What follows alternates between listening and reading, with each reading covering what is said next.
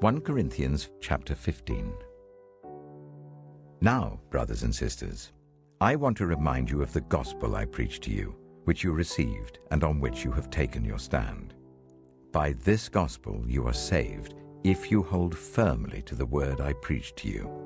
Otherwise, you have believed in vain. For what I received I passed on to you as of first importance that Christ died for our sins according to the Scriptures, that he was buried, that he was raised on the third day according to the Scriptures, that he appeared to Cephas and then to the twelve.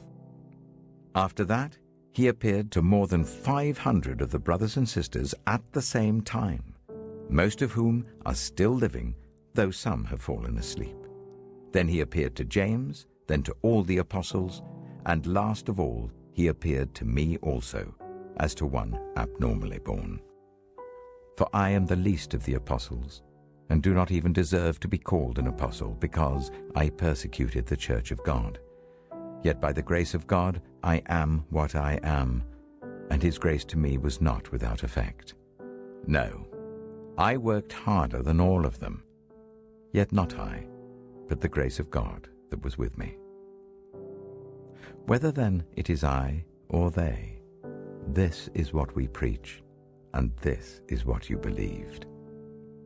But if it is preached that Christ has been raised from the dead, how can some of you say there is no resurrection of the dead? If there is no resurrection of the dead, then not even Christ has been raised. And if Christ has not been raised, our preaching is useless, and so is your faith. More than that, we are then found to be false witnesses about God, for we have testified about God that he raised Christ from the dead. But he did not raise him if, in fact, the dead are not raised. For if the dead are not raised, then Christ has not been raised either. And if Christ has not been raised, your faith is futile. You are still in your sins. Then those also who have fallen asleep in Christ are lost. If only for this life we have hope in Christ, we are of all people most to be pitied. But Christ has indeed been raised from the dead, the firstfruits of those who have fallen asleep. For since death came through a man, the resurrection of the dead comes also through a man. For as in Adam all die, so in Christ all will be made alive. But each in turn. Christ the firstfruits. Then, when he comes, those who belong to him. Then the end will come, when he hands over the kingdom to God the Father, after he has destroyed all dominion, authority, and power. For he must reign until he has put all his enemies under his feet. The last enemy to be destroyed is death. For he has put everything under his feet. Now, when it says that everything has been put under him. It is clear that this does not include God himself who put everything under Christ. When he has done this, then the Son himself will be made subject to him who put everything under him, so that God may be all in all. Now, if there is no resurrection, what will those do who are baptized for the dead? And if the dead are not raised at all, why are people baptized for them? And as for us, why do we endanger ourselves every hour? I face death every day. Yes, just as surely as I boast about you in Christ Jesus our Lord. If I fought wild beasts in Ephesus with no more than human hopes, what have I gained?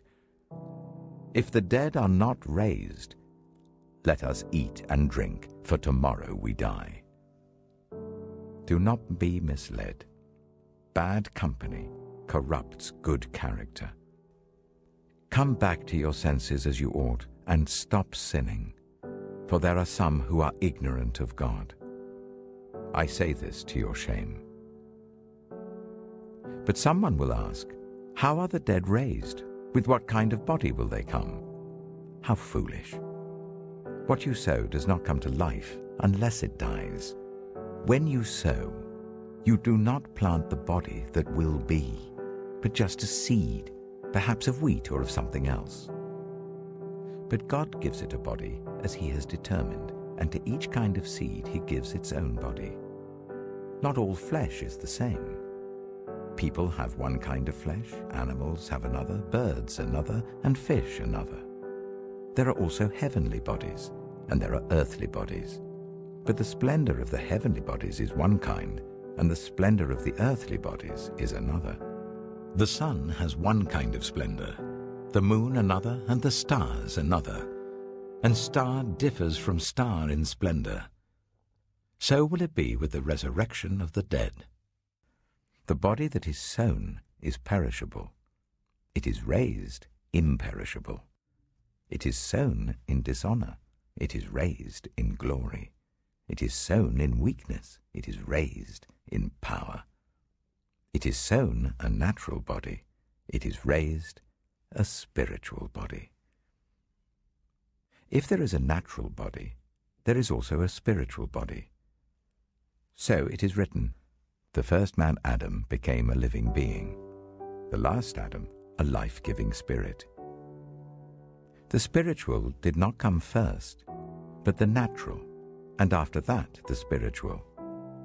The first man was of the dust of the earth, the second man is of heaven.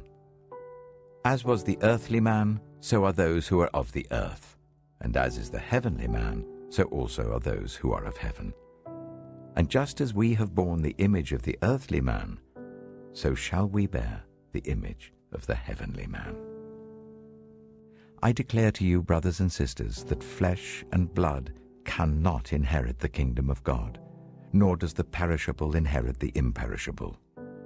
Listen, I tell you a mystery. We will not all sleep, but we will all be changed. In a flash, in the twinkling of an eye, at the last trumpet. For the trumpet will sound, the dead will be raised imperishable, and we will be changed. For the perishable must clothe itself with the imperishable, and the mortal with immortality. When the perishable has been clothed with the imperishable, and the mortal with immortality, then the saying that is written will come true. Death has been swallowed up in victory. Where, O death, is your victory?